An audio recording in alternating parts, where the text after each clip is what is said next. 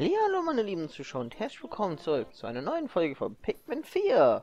Wenn euch das Video gefällt, dann lasst ein Abo und ein Like da und ich wünsche euch jetzt viel Spaß mit dem Video. Ja, moin Leute ne? und herzlich willkommen zurück zu einer weiteren Folge von Pikmin 4.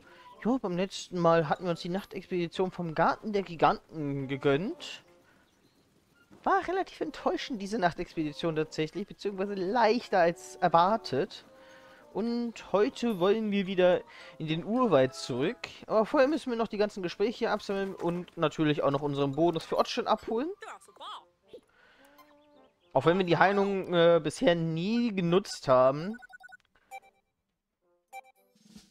Mehr als upgraden können wir sie halt nicht. So, du willst auch noch was von mir? Da hinten habe ich auch schon gesehen.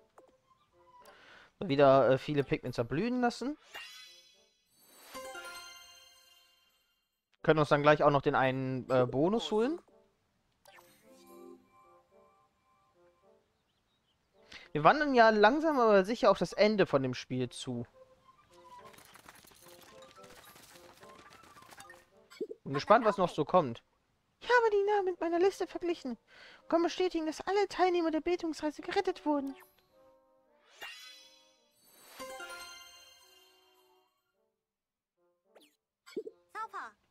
Viel ist es nicht, aber es soll dir gehören. Und falls du es nicht zu viel Mühe machst, unterschreib mir doch bitte den Erhalt. Du hast das Spiel gewonnen. Viel Greifbares bekommst du dafür nicht, aber der Stolz über den Sieg macht das wieder wett, oder? Tausend Kreaturen fertig gemacht. Vielleicht sollte ich dich irgendwann einmal zu einem richtigen Kampf herausfordern.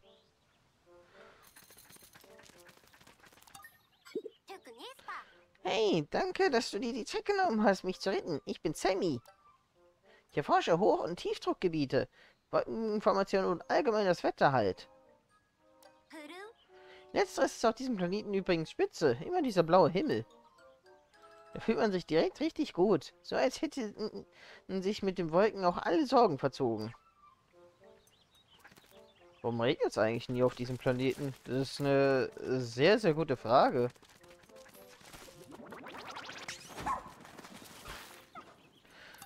So, dann waren glaube ich auch alle. Dann können wir uns jetzt hier mit den Rohmaterialien noch den Booster gönnen. Und haben als nächstes den Luftschild Plus Plus vor uns. Ich kaufe mir auf jeden Fall mal äh, wieder einen Vorrat an Eisbomben. Steinbomben haben wir noch ein paar.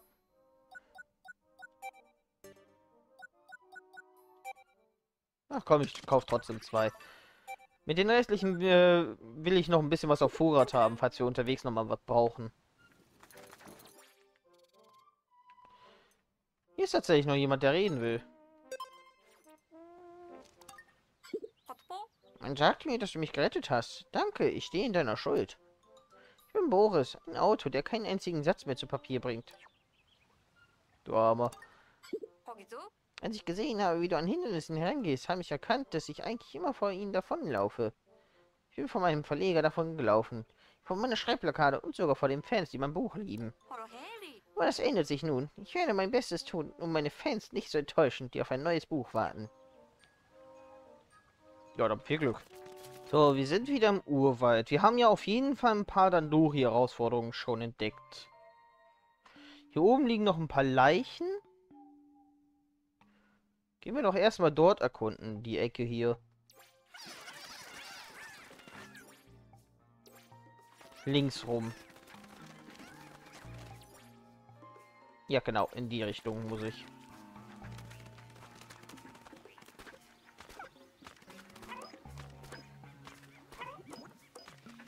Kann ich da drauf springen?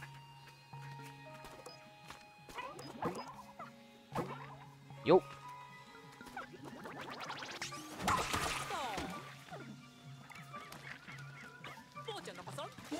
Erstmal nur die weißen. So. Das dürfen die Weißen gerne wegtragen. Ich sagte die Weißen. Ach, egal.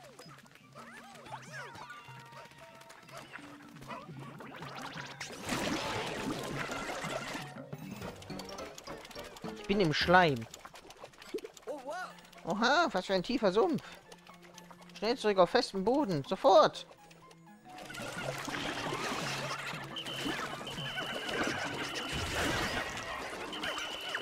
Hat er gerade alle meine Weißen gefressen?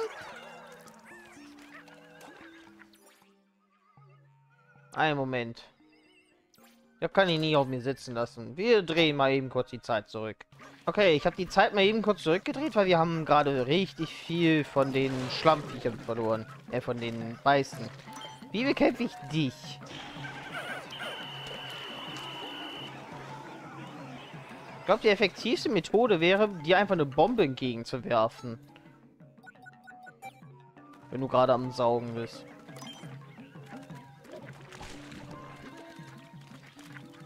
Was ich überhaupt gegen diese Grütze?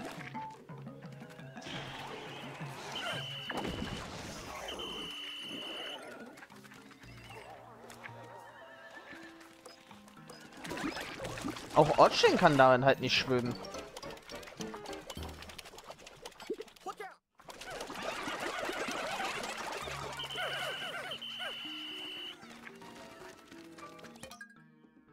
Auf und zu. Fels und Weiße.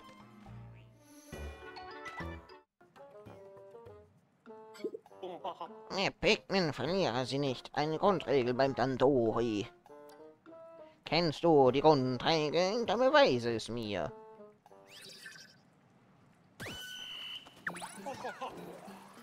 Okay, erstmal Überblick. Da haben wir ein paar Glöckchen. Ich würde sagen, äh, wir gehen so rum nach Möglichkeit.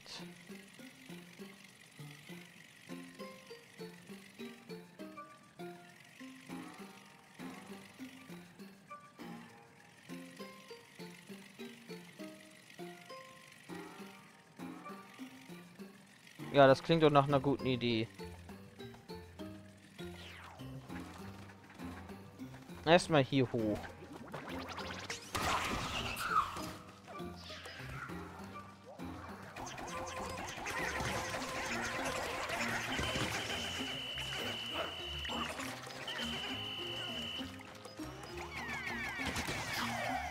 So, wir mal eben kurz die Grütze weg.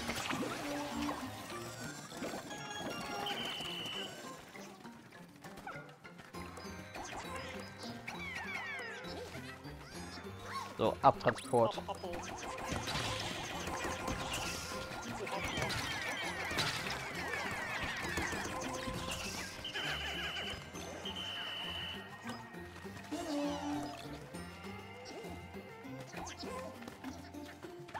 So, die Mann Abtransport.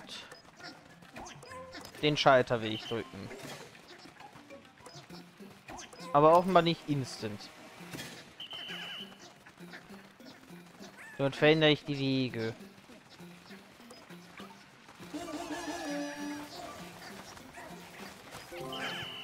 Das transportiert Option ab.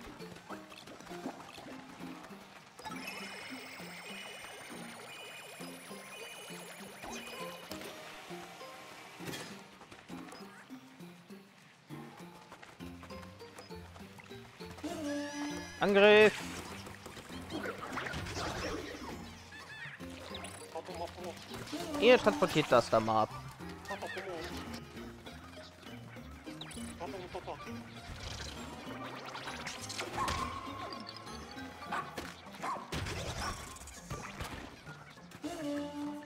So, mit dem mal auf.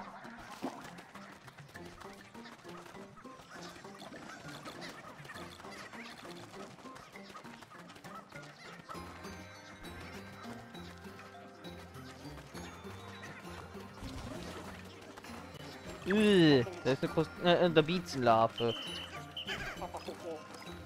So, Otschen, nimm den damit.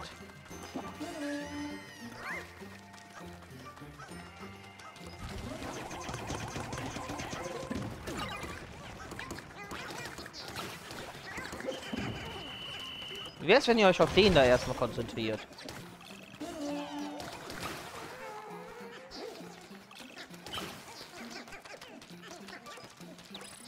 So, nimm das mit.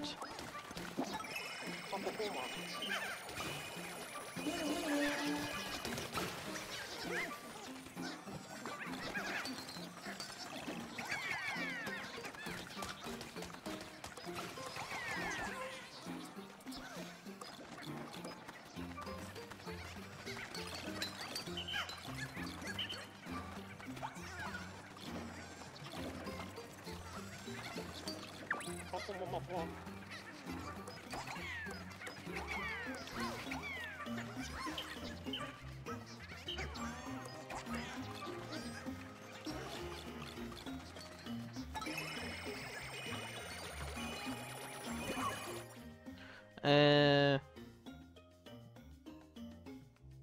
Du wanderst schon mal dahin.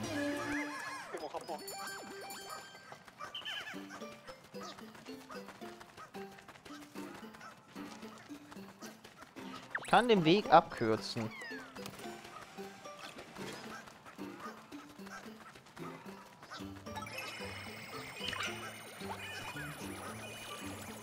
Geschafft. Das war easy.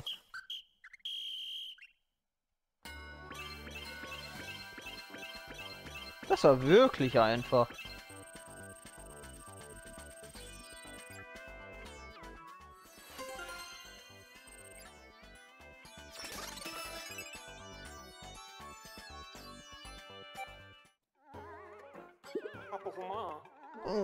Ist ein dorischen Kirchen. Du hast den Rekord gebrochen.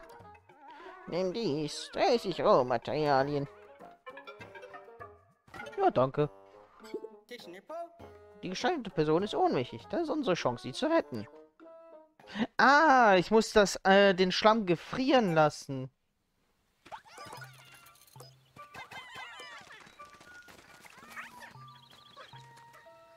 Oh, da brauche ich aber viele Eispigment.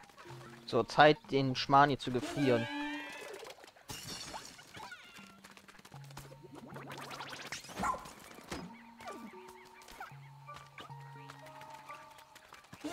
So. Schluck. Na komm, Mochin. Ja, wir können eh nicht lesen, wer das ist.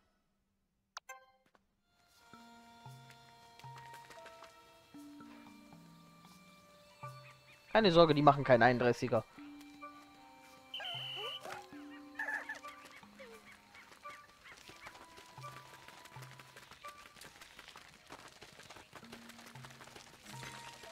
Ich denke mal, die Ecke hier haben wir dann soweit es geht fertig. Da liegen zwar noch zwei Leichen. Hier ist noch äh, der Battle, aber den heben wir uns ja sowieso bis zum Schluss auf.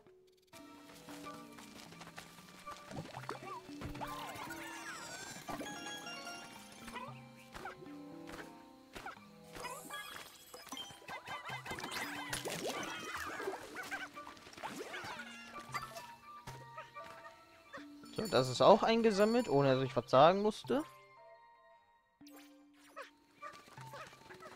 Das könnt ihr mitnehmen. Wir haben hier beim letzten Mal noch aufgeräumt. Also die Basis kann ich auf jeden Fall umverlegen. Ja, dann können uns ja gleich folgen.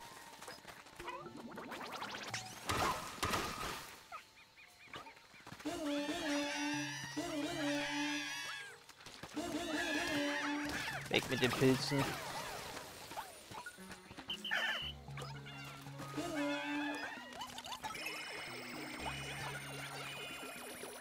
So, unser anderer Trupp kommt.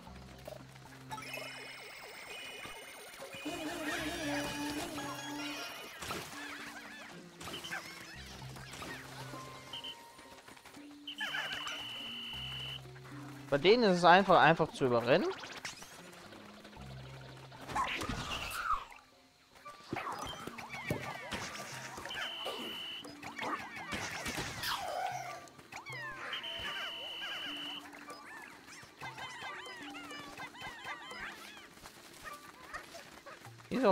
Sch äh, Schatz in der Nähe.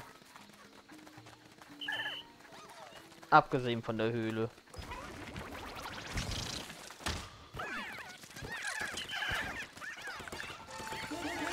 Angriff! So, der Schmarrn ist weg.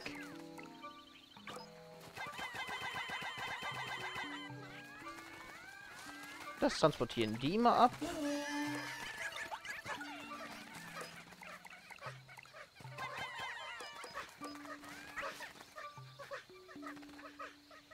Da hinten haben wir auch noch zu tun.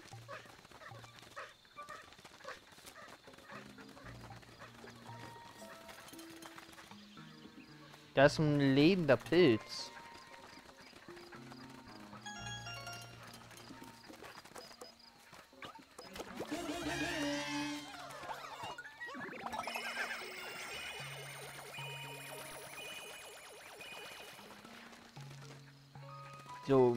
Der Rest meiner Armee kommt da gerade angerannt.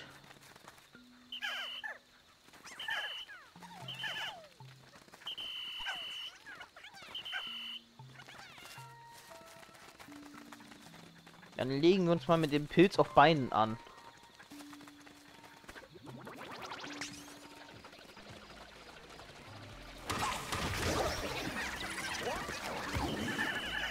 Keine Ahnung, was du bist.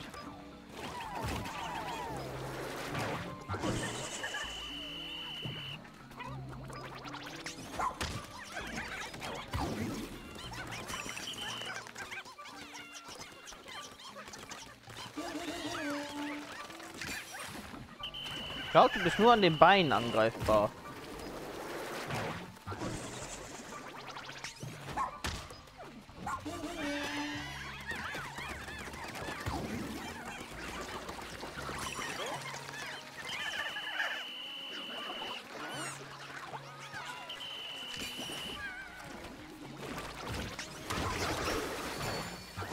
Scheiß Schnecke.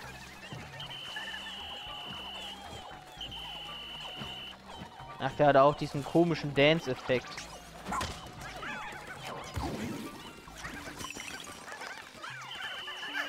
So, ich will ihn nicht so töten.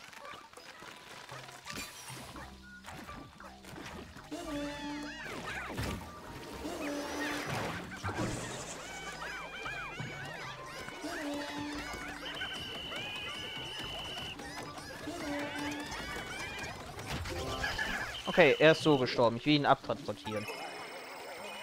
Aber erstmal werden wir in diese Pilzragout-Stelle hier.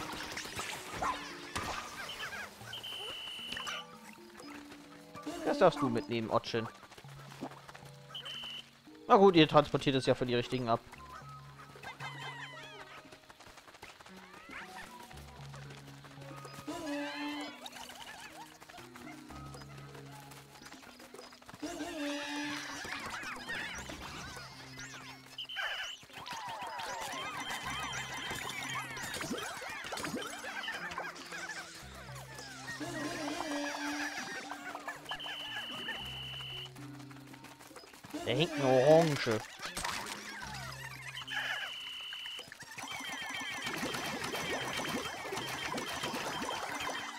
Hab sie alle umgebracht. Außer den da. Jetzt habe ich alle umgebracht.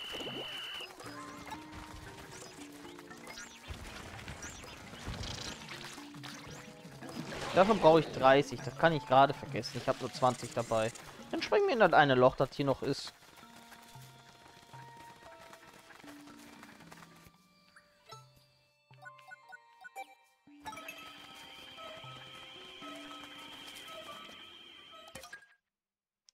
Schlammgrube. Ich habe in einem bodenlosen Sumpf gesteckt. Da drin war es manchmal stockfinster. Und jetzt bin ich voll mit Schlamm. Erinnert mich alles irgendwie an die Landschaft hinter Omis Haus.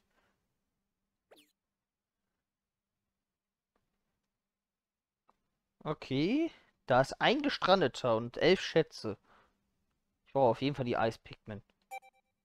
Ich würde mal darauf tippen, dass das hier zwei Ebenen tief ist.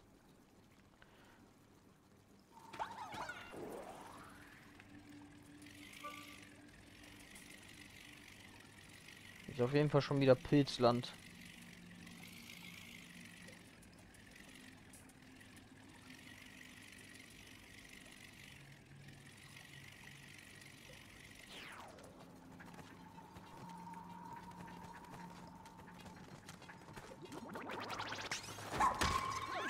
Komm, wir machen ja eine Ebene, dann wissen wir ja, wie tief es ist.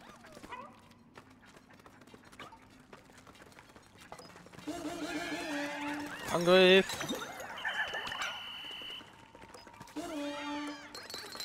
Ich soll mal die Geflügelten mitnehmen.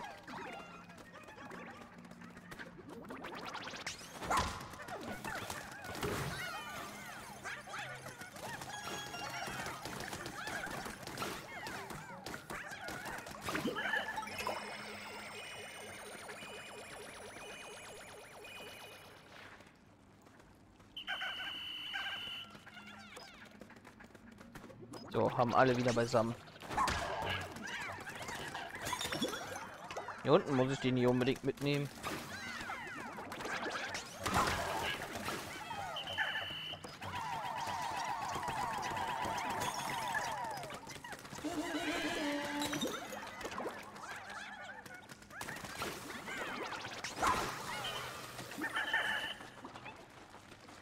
So, einfach graben. 100 Eispigment, dann kannst du ja alles vereisen.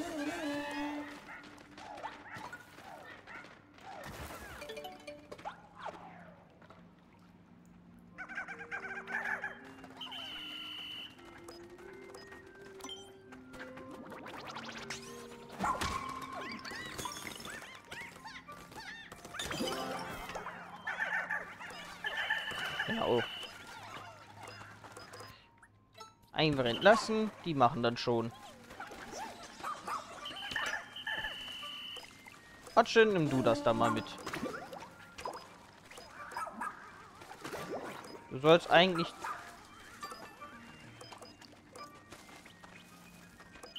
Atschen hat zu viel Spaß mit den Schmetterlingen.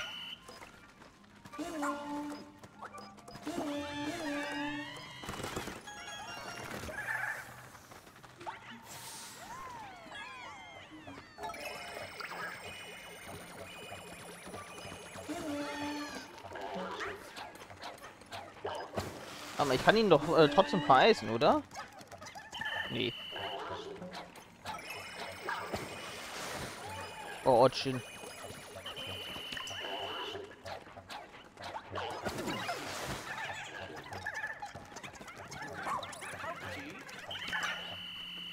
Mein Gott, kommt her, ihr Idioten.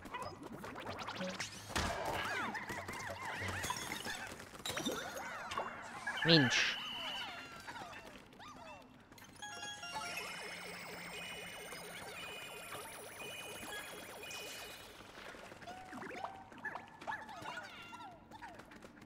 Man mit den Dingern nicht fahren? Nee, man konnte sie auf der Einrichtung nutzen.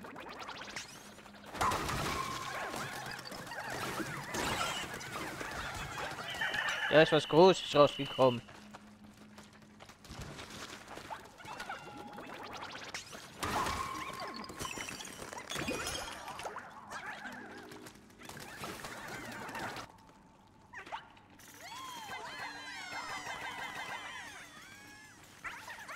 Passt so schon.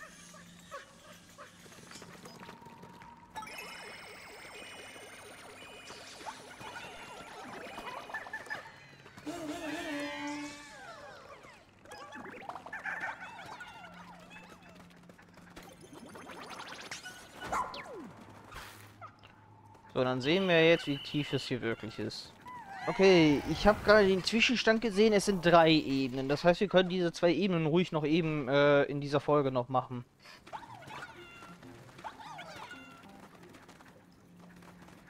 Das ist wieder irgendein neues Monster gewesen gerade.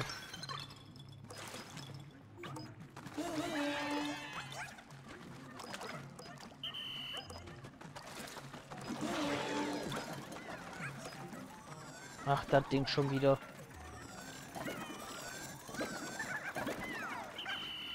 Das ist ein riesiger Rüssel, Ignis.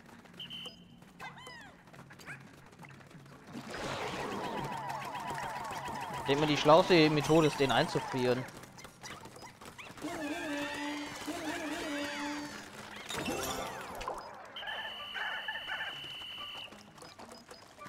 Das kann Otsche mitnehmen. Obwohl, nimmt ihr das mit? Otsche muss da vorne was kaputt machen.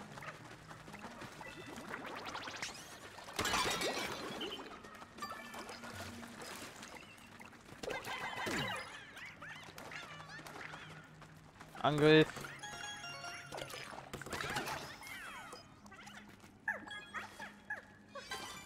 Herbsternte.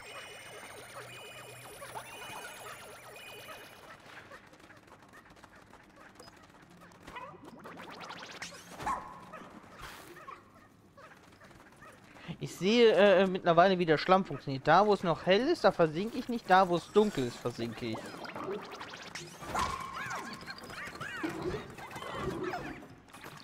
Aua.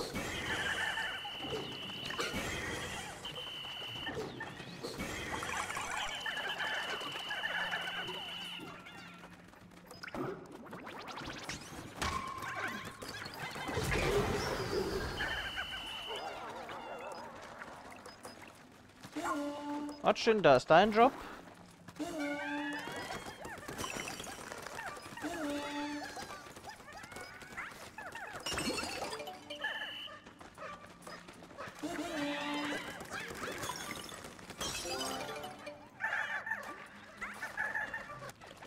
Auch verdammt dunkel unten.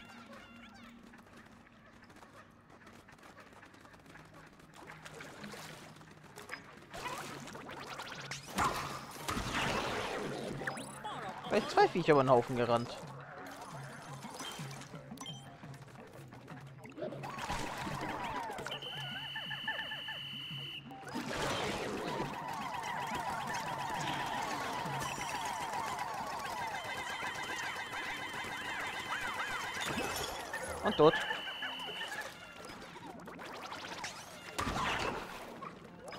Okay, hier muss eine Brücke gebaut werden. Knopfknolle können wir ja schon mal abtransportieren.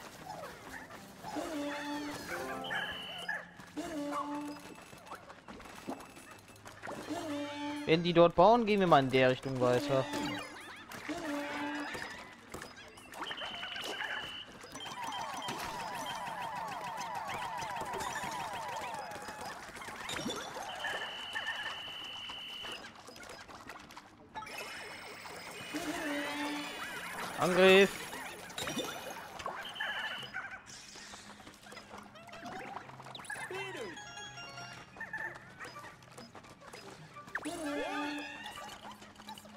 Glaube, wir sind hier schon fertig.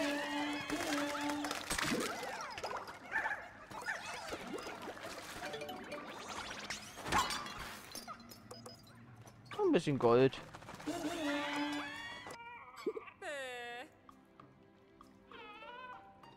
Wovor hat er Angst?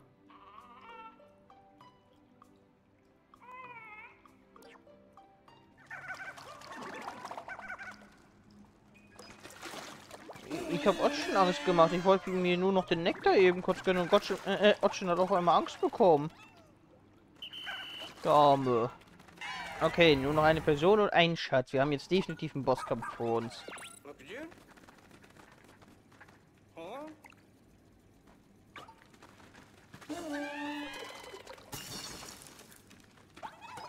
Ich glaube, das äh, vorher zu tun, ist nicht dumm.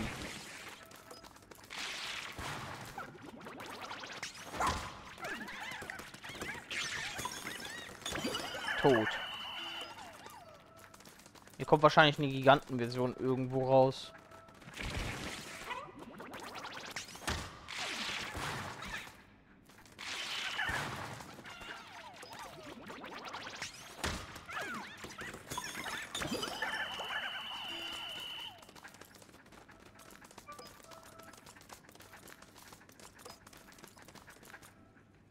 Aber eventuell nicht, während der Schlamm gefroren ist.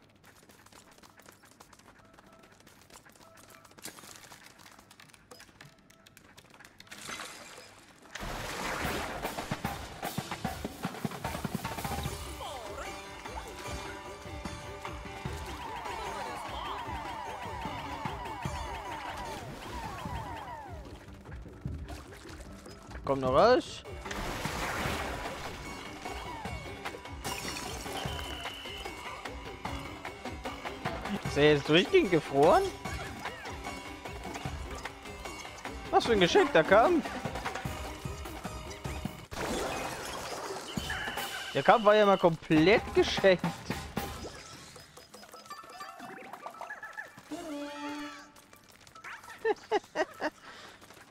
ja, so einfach kann es gehen, ne?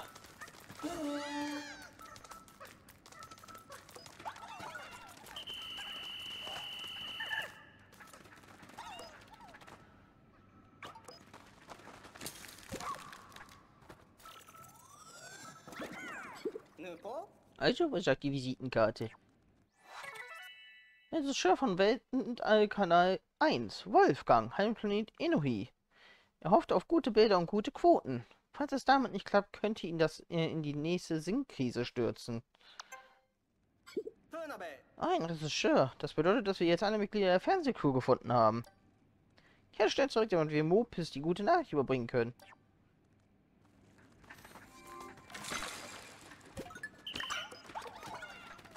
Ja, müssen aber das dann noch aufsammeln. Glaube ich, das letzte aus der Reihe. Neuer Schatz. Ja, Zugreise haben wir auch abgeschlossen. Drei Teile haben wir in dieser Folge abgeschlossen.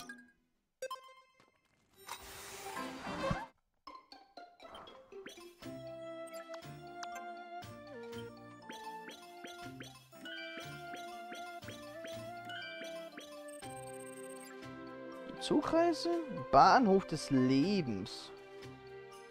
Die, und die Herbstente, Saftkissen, Kugel des Glücks, Saftcontainer.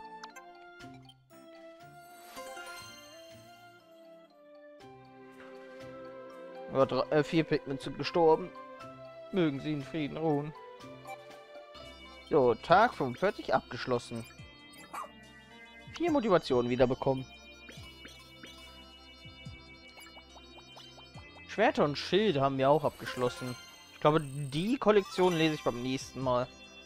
Ich lese jetzt nur eine, und zwar die kleine. Ja, die der Herbsternte.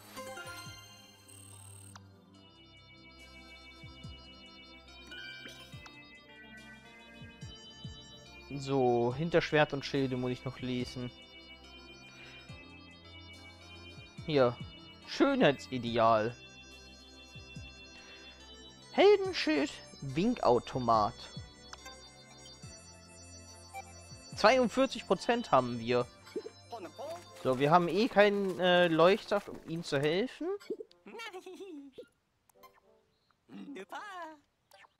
Gönnen wir uns mal den Luftschild. Ich denke mal, das ist das letzte Upgrade. Ja. Es gibt keine Items mehr, die er herstellen kann.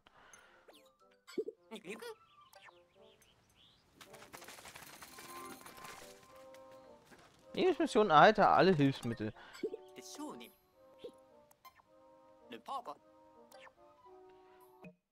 So.